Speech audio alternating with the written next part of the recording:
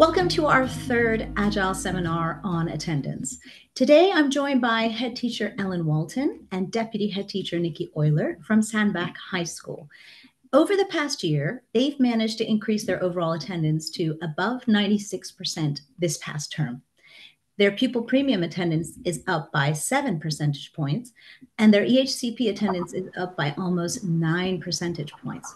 So we want to know how they've done this. And all of this has been achieved through methodical review of their structures, systems, and processes. But more importantly, at the heart of it all, by creating a culture of belonging and kindness at their school. Ellen and Nicki, thank you for so, so much for joining us. I'm going to hand over to you. Oh, okay. Thank you so much. Um, good morning, everyone. We are here today to share with you our work that we've done to improve attendance at our school. We're not claiming um, to have the silver bullet, but what we can share with you is what is what we've done to strategically change the culture around attendance, which in turn has significantly improved our attendance figures across the board. Um, this is our school, and you can see a photograph on your screen. This is Sandbach High School and Sixth Form College. I've solely included this photograph in the presentation because I'm really proud of our new windows. Um, this is our motto at the bottom of the screen, an ambitious school with kindness at the heart of our high expectations. And actually, it underpins all that we do here, but including our attendance. Because the point is, is that being kind and having high expectations are not mutually exclusive. And we want to talk to you today about what this means. So this is us. My name is Ellen Walton. I'm head teacher here. And um, this is Nicki Oyler, who is our deputy head teacher in charge of pastoral care, um, safeguarding, and indeed attendance. And she's going to do the majority of the talking today because she's led on this so brilliantly. So, who are we? And you'll want to know a bit about our school, won't you, so that you've got the context. So we are a year 7 to 13 fully comprehensive secondary school in Cheshire East, which is just on the edge of Northwest. We're a single sex girls school, um, year 7 to 11, and we have a mixed sixth form. Um, you will know that attendance around girls is particularly challenging, and we'll explore that a little bit um, later on. We have quite significant numbers of EAL students, really high numbers actually, and growing. Um, this is in the main due to refugee and asylum seeker children joining our school and joining our community. We have a really wide catchment area. It's really diverse, it's really comprehensive. It includes areas of increased disadvantage, such as Crewe. A significant proportion of our students come to school either on public transport or school buses. And colleagues will know that in terms of attendance, that brings its own challenges. In terms of our attendance achievement then, so at the end of the academic year of 21 to 22, our attendance was 92.3. Um, and our attendance at the end of last academic year was 95.13. So we managed to get over that 95% uh, magic marker. So in 12 months, we improved it um, by 2.83%. And we were really pleased with that. But we were particularly pleased um, in terms of our vulnerable groups. So our PP increase, as you can see there, went up by 7%. So it went up to 93.79 from 86.73. EHCP went from 70.94 to 79%. Um, and you can see free school meal and SEN support. We still want to build on that, of course we do, but we were really pleased um, on those increases last year. In terms of this academic year and where we are so far, we're really driving and hoping to build on it again. So as you can see, we're tracking at the moment at around 96%. Um, this time last year, at this time in the academic year, we were 95.85. In the year before, we were just under 91. So we're hoping, and so far the figures tell us that we're going to beat, and the hope is that we're going to beat last year's figure. That's what we're striving for. Okay, so let's tell you a little bit then about the barriers and concerns that we had when we started to really take this issue head on. So I actually started here as head teacher. My first academic year here was 2020 to 2021. So that was a really difficult year because we obviously had bubbles, we had the second lockdown, we had all of the rules over isolation, contact tracing. We were really hit hard by COVID, as many of you were. So, really, it was hard to get a handle on what our true attendance actually was. By January 2022, I was really worried about our attendance figures. I could see where they were going. I was really concerned. Um, on the screen was some of my sort of conclusions that I was able to draw by the January. That attendance wasn't very good that our processes, our in-school processes were unclear, um, actually unhelpful. Um, and we weren't following them anyway. Um, school staff weren't acting in a timely manner, and no one was strategically guiding attendance. There was a real lack of overview. Um, nobody really owned it. And pastoral staff were sourcing their own attendance data. And this made the whole process even more long winded and cumbersome and just not effective. So what did I do? So the first thing that I did was I asked the local authority to come and do a deep dive, looking at every student in every year group. And we commissioned that, we funded that. And I asked them to be brutally honest. I wanted to know what our issues were. And in a nutshell, it was really clear that what we were doing just wasn't good enough. Um, processes were long, really long. Staff weren't adequately trained. But most importantly, as I've already said, no one really owned it. So from September 2022, I changed um, my SLT structure and I changed who had ownership of attendance and actually what that looked like. I'm going to hand over now to Nicki um, because she was the person who picked that up as the deputy head teacher and, and she picked up that lead. So I'm going to hand over to Nicki. Okay, thank you. So as the newly appointed SLT strategic, strategic lead, I identified the following concerns which needed addressing to improve our approach to attendance. So attendance wasn't a priority for our school and for our staff. So that was something that needed to be worked on. There was definitely a lack of cohesion between staff members within school. So um, the uh, admin person in charge of attendance, the pastoral team members, the form tutors, um, also, our communication, um, it, it, to be honest, it was quite brutal um, and it was causing confrontation with parents, with families, with students. So that was something that lacked compassion and kindness and needed addressing. Also, the whole staff were unaware of the importance of attendance and they weren't taking responsibility for it. It was always someone else's responsibility. So, again, that was something we worked really hard to address. So, I created a vision around an att uh, attendance and I looked at things like culture, creating clarity, having a consistent approach, um, improving our communication, um, not only among staff and team members, but also with parents and students, and ensuring that all of this um, was in the bubble of kindness. So we were ensuring kindness was, was at the heart of everything we did. So from that vision, um, there were three main actions. The first thing was to establish a structure. So I was newly in charge of it. And then it was looking at who did what within our team. So who took responsibility for what. Once that structure was in place, um, so we had an admin um, team member who had responsibility for attendance um, and how they communicated that information to our pastoral leads and pastoral assistants. Once that was in place, we looked at the processes that we had.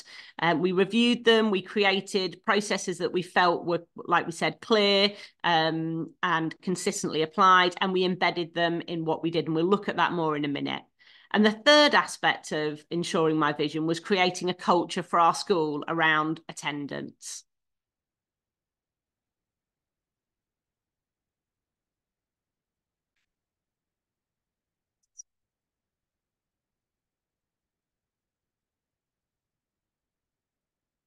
So looking at the processes, um, we signed up to the Cheshire East provision. Now, whilst this isn't necessarily the solution um, to improving attendance, it did help us create our processes.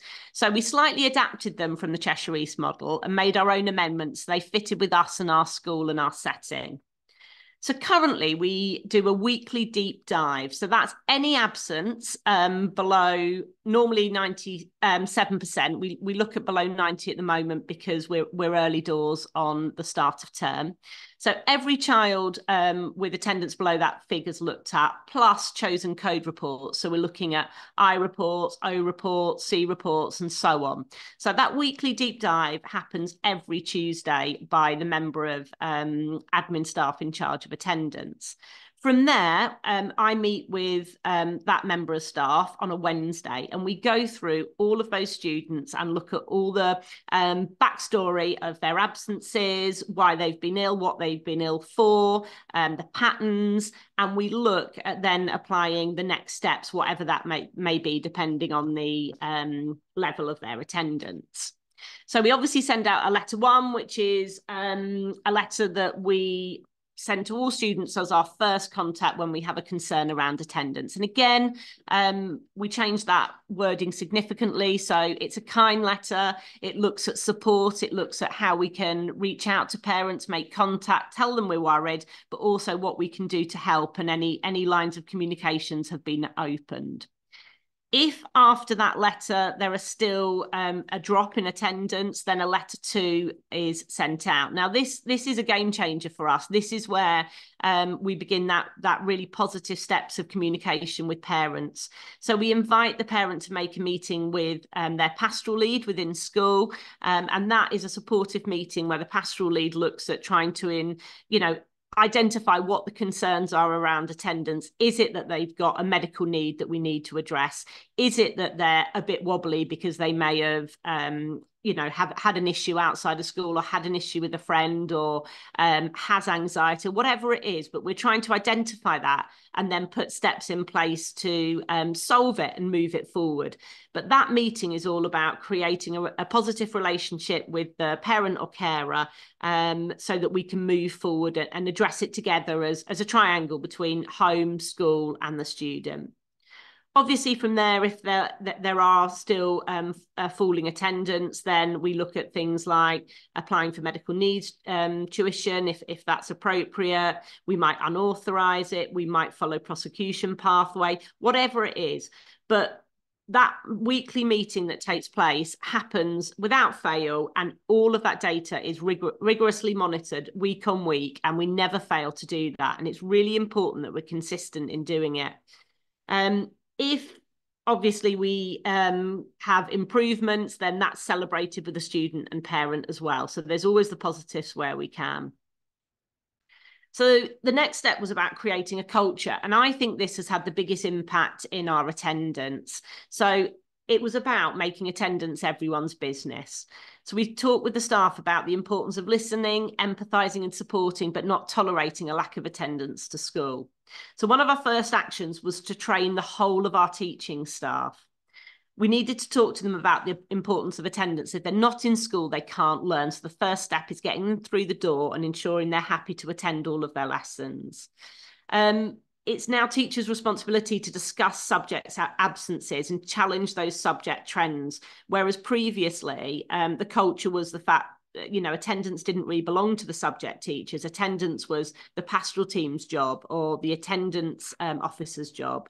But now all teachers if a if a child has been missing from their their lesson they have a conversation. They talk about you know what's been missed. They talk about you know we're worried you've missed this topic topic but it's raised by each teacher with that child in a positive way we train form tutors um, to talk compassionately on the return um, of the student to school. So they've talked about, um, you know, the fact we've missed you.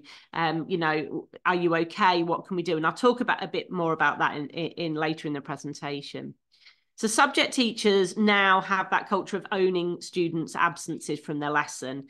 We don't expect them to, um, you know, copy up notes and things like that for them. That that's unrealistic. But what we do expect is to have conversations with the students, uh, you know, checking that they have, um, you know, copied up work and and filled their knowledge gaps. And if it's a substantial one, then doing something about it. We also invited the local authority in as well to deliver attendance overview and training to all staff so that the staff knew, um, you know, the national picture, the local picture, uh, and, and how Cheshire East linked with us as a school and what their expectations was. So everyone had a really good knowledge of what attendance looked like. We also significantly trained the pastoral staff Um, so I talked previously about a lack of um, cohesion between admin staff in charge of attendance and pastoral staff. So that was something we worked really hard on. Um, the admin member of staff was trained to become an expert in attendance. So then it was about her working with the pastoral team and ensuring that they had that that level of understanding as well. And now the team are really strong. They work really well together.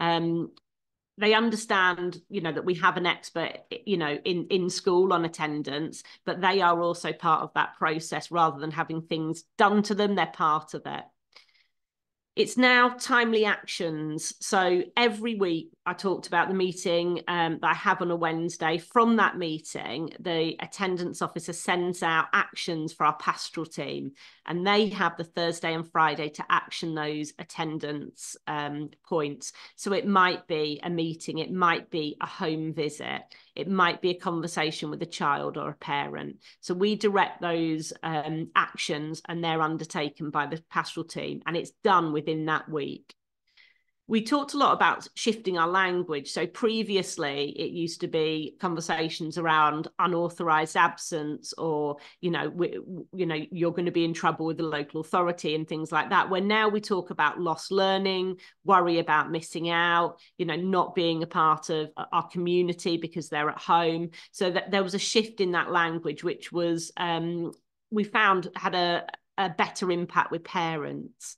And again, that that layer of kindness so listening empathizing and supporting when parents would ring and say you know we're struggling to get my daughter in or i'm worried about this Home visits are undertaken by our pastoral assistants, so they're non-teaching members of staff. To begin with, pastoral, uh, sorry, home visits happened as and when. When now we have a plan, they're done on a Tuesday and a Thursday morning, and two members of staff go out. And again, there was training about what those home visits would look like, what they would say, how they would undertake them.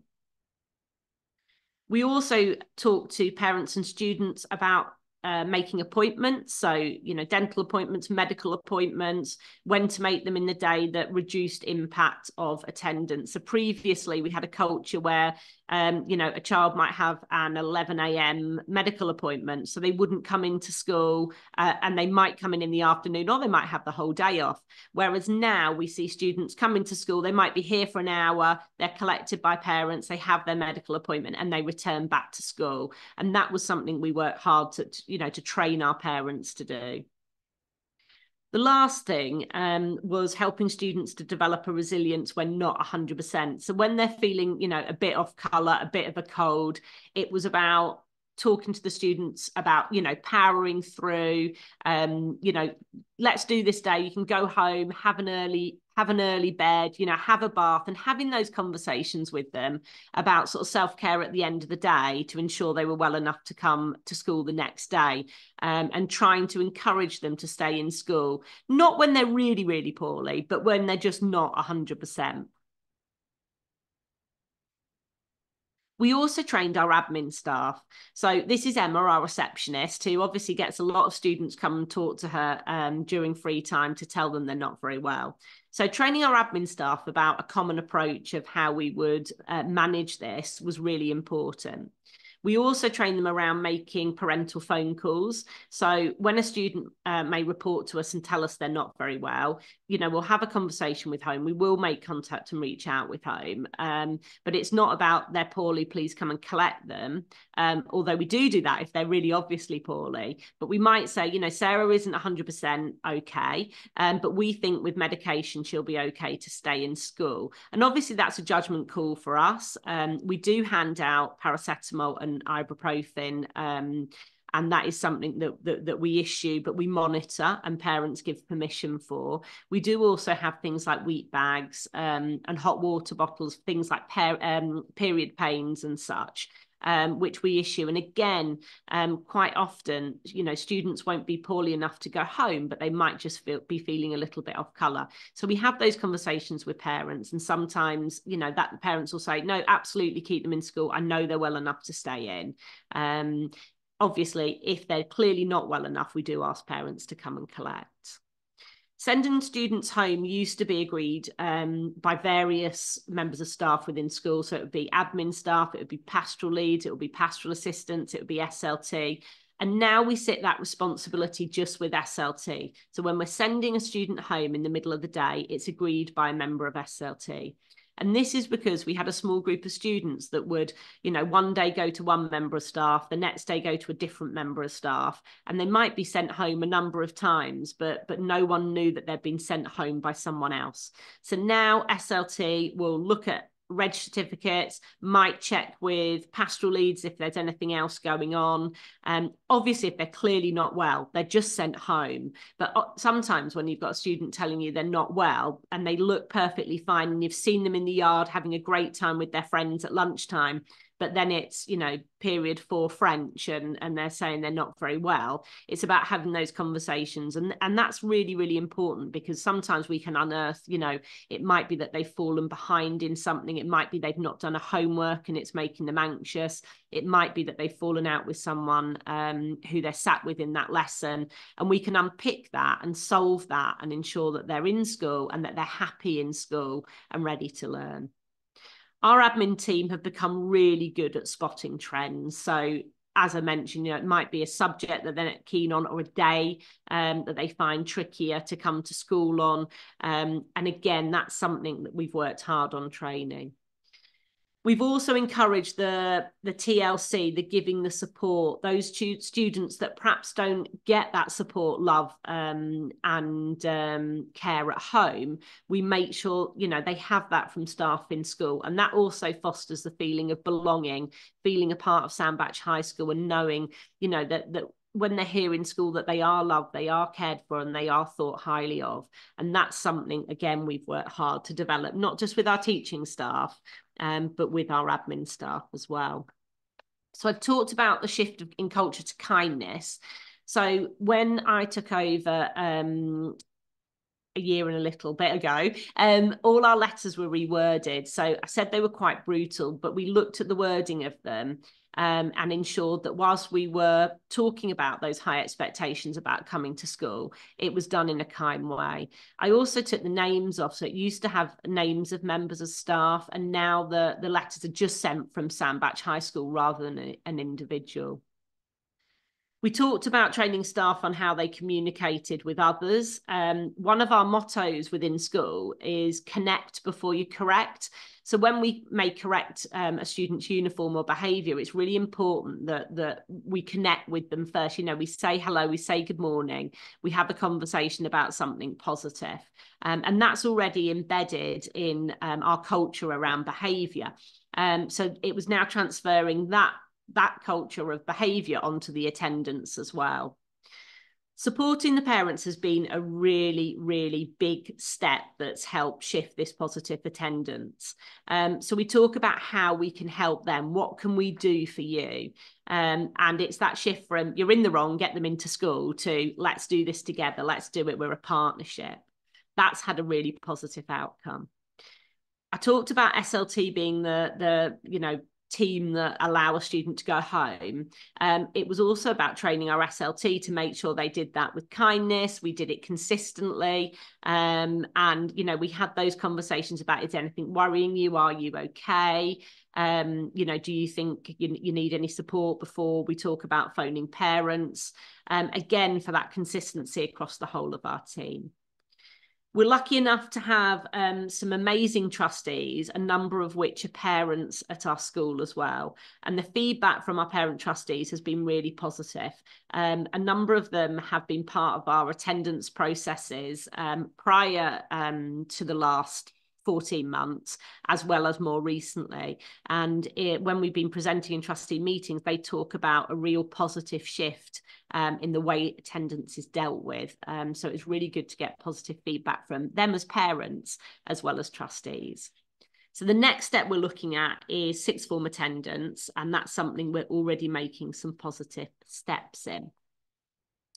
So again, looking at the culture of belonging, um, we feel that when girls don't have a sense of belonging, they don't attend. So it's been something we've worked really hard on, and not just in an attendance sense, but you know, pastorally uh, with rewards, literally, you know, the whole culture of our school. So it's creating that emotional sense of belonging. You know, we don't want students to miss out, and I think girls particularly don't like missing out. But the trouble is, when they do, um, that can delay their return to school because they perceive it might be difficult to fit back into their friendship group if they've been out at the weekend and um, you know done stuff of an evening and they've been poorly and missed out. So you know there's been a lot of work going on around um, helping students have the skills to have good friendships know what good friendships are be supportive of each other as well as creating um, a, a sense of belonging through our house system, which we have in place,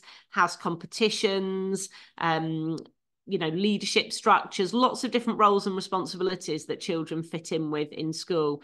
Um, you can see the picture on the right this is our our poultry club um, which a huge number of girls um, belong to. And again you know if, if, one of these students is off and poorly they're desperate to come back to care for the animals to feed them to look after them. Um, and it's that sense of belonging to something and feeling like you know that they're missing out if they're not here. And that could be sport, that could be music, it could be drama, it could be charity, it literally could be anything. We also train staff on how they communicate with students to develop a culture of belonging. So we literally gave scripts to form tutors to use, you know, to utilize language that created that. So form tutors use the word, you know, we've missed you when students have been off ill. They talk about, you know, we had a inter-house netball competition. We wish you had you had you for the house competition. We would have done better with you. You're a really good sportswoman. It's just creating those aspects of where a child thinks, no, I need to be here. I don't want to let people down. They also talk about, um, you know, any concerns. So, you know, is everything okay? You okay with friends? Have you got any worries about returning? And again, that might be um, because they've missed out on a piece of homework or they're worried to come back to a test that perhaps they haven't been able to revise for for their poorly as they've been poorly. But identifying what that is, you know, reaching out to that teacher to let them know, it ju- it just creates that sense of a student knowing that that their form tutor or the subject teacher or the pastoral lead um, has got them and they're there. Lastly, supporting the parents in understanding the impact of their child being off school socially. So, you know, if they're not in when they're not 100% um, and they could be in, you know, they're missing out with friends. And the longer they're off, the harder it is to return. Lastly, we embed um, attendance in absolutely everything we do. So I've talked about creating that culture where everyone has responsibility for attendance. And that doesn't matter, you know, whether you're the receptionist, whether you're a form tutor, a subject teacher, or a member of SLT. It literally is embedded in all we do. So when we do parent engagement groups, um, it could be about um, improving your maths at key stage four.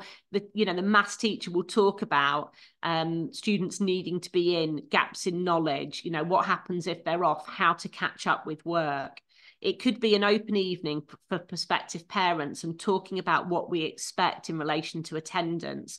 Um, I I think we, you know, we've come across, and I'm sure you all have, that that parents think 80% attendance is great because 80% is a high um, attendance level, but it's it's talking to them about actually how many lessons they've missed at 80%, how many days they've missed, showing them a reg certificate and what that looks like um, whether it's publicity, welcome booklets for students, parents' evening, achievement teamwork. Everyone talks about attendance and holds it in high regard. And having that culture has helped improve our attendance.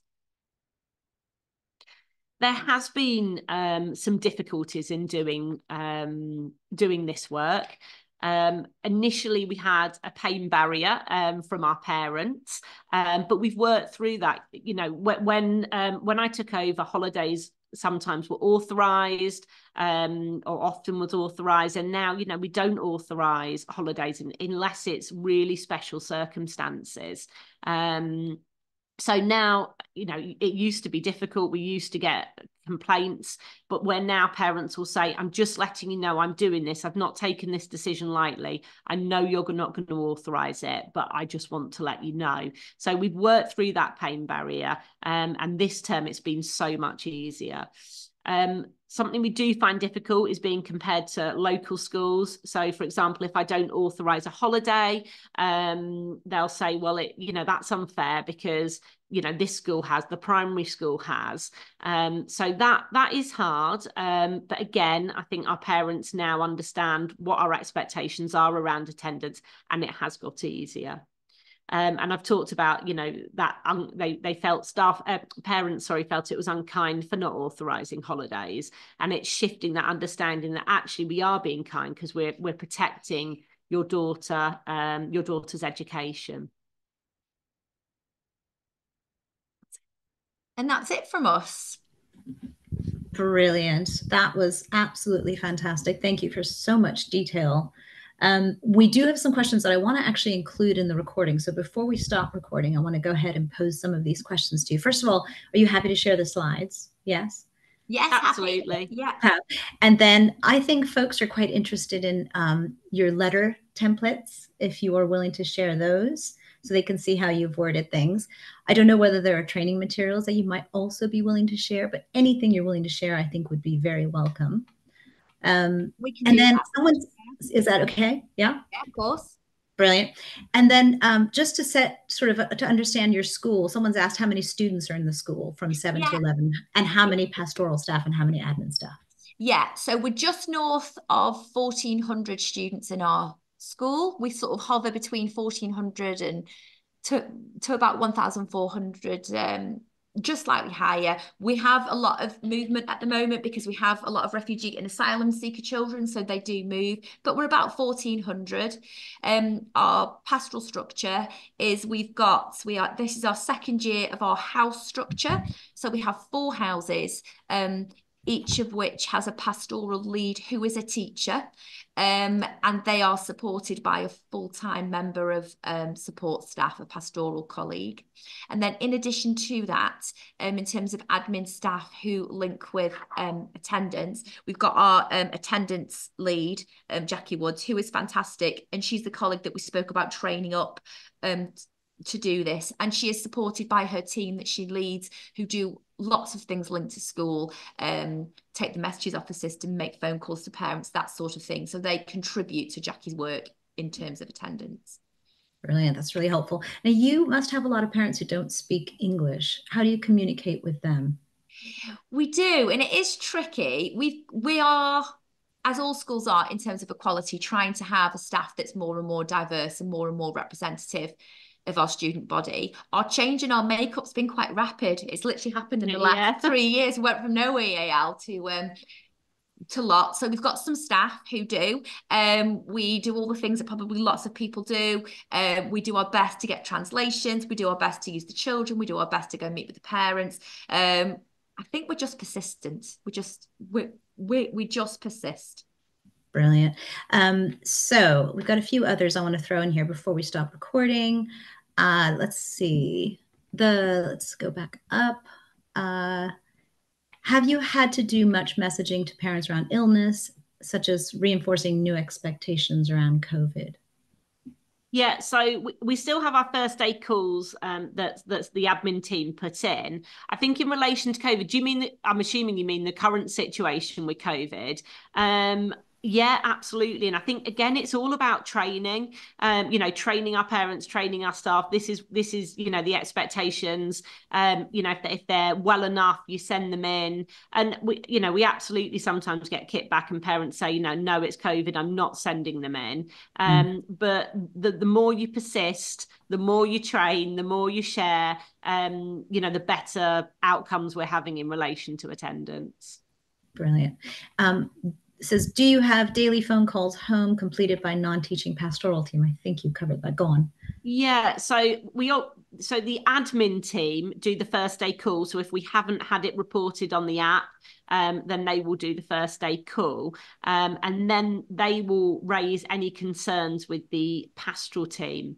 So our pastoral assistants who are non-teachers, there's four of them, one for each house. You know, if there's a concern, if we're worried, if the if the child's been off for a number of days and it it seems something, you know, headache and they've been off sort of three, four days, then that pastoral assistant will reach out in a phone call. It, it may be a, a, home visit if it's a student that um, you know is known to us and we know has difficulties but it's all about you know keeping those lines of communications open. And i think that's what we were lacking previously you know those open lines of communication that, that are underpinned with with kindness and support absolutely. So another question is around home visits. The home visits you mentioned what is the threshold for those visits it's really bespoke. So when I talked about the um, the Wednesday meeting um, that I have with the admin um, lead on attendance, so we will look and it might be, you know, this child actually does well with a home visit. We know that home visit has real high impact. They've been off for two days. Um, and mum might say it's anxiety or mental health um, you know, we know that an early visit actually will get that student back in. It might be we go out to the house, um, you know, obviously phone call first, and um, we go out to the house and we can manage to bring that child back into school. Um, you know, we don't do that on a daily basis, but we know that we're, you know, setting that child up for a, a positive um, day that day that we can hopefully continue. Um, it might be that we have reason to believe a student's on holiday. So a parent's reported illness, but actually their classmates are saying they're on holiday in Ibiza.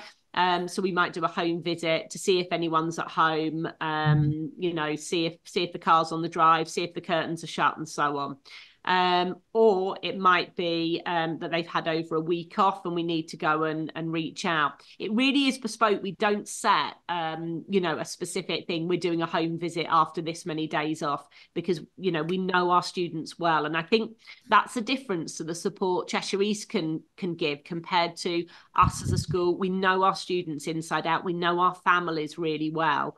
Um, and we know where we can have impact. There's sort of a follow up question. How often do you visit long term absentees? Really good question. Um, so, if they're on medical needs tuition and someone else externally is seeing them, it's once every two weeks. If there's no eyes on from anyone, so they haven't got a social worker, you know, they're not not under med needs. Um, so literally no one um, from a profession is seeing them, it's weekly. And then for me, you I can see that legal prosecution is still in your arsenal of tools. Absolutely, yeah. What is the threshold for that, and how often do you find yourself actually having to resort to that? Because we know we we hear that that's actually not working with parents now. Okay, um, so we've had some we've had some positive wins from it. Um, and we actually know, you know, there's some families we know if um, they have a pre-PN, for example, that their child will attend every single day. Um, so we we know that that's a positive step. Um, there are other families we know that we you know we've put that in place and it and it hasn't had any impact whatsoever. Um, so I think we we use it where we think it can have impact. We do. We'll go through periods where we don't have you know we don't apply for any, and then I think um, last month we sent five off. Mm. Um, but we, you know, we've we've done much more than that in in previous times. So it really is dependent. But what I will say is is is literally month by month it, it just gets better um so w- last year last academic year my wednesday meetings you know could easily be two hours where currently they're sort of 30 40 minutes um because attendance is so much better brilliant um so there are some more questions, but what I'm going to do is I'm going to stop the recording so we can keep it within a certain length. Ellen and Nicki, I want to thank you on, on record. I want to thank you for sharing all of this fantastic information with us. I think it's going to be incredibly useful to people as they think about how they look at their systems and structures and processes and really owning attendance. That seems to be the key message and kindness. So thank you. We'll stop recording now, but we'll carry on with questions afterwards.